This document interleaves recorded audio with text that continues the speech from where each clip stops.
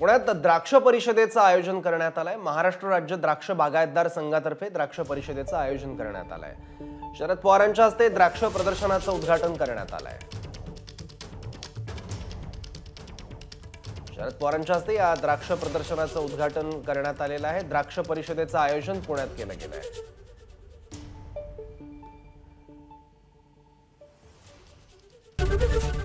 ABP माझा. उघडा डोळे बघा नीट.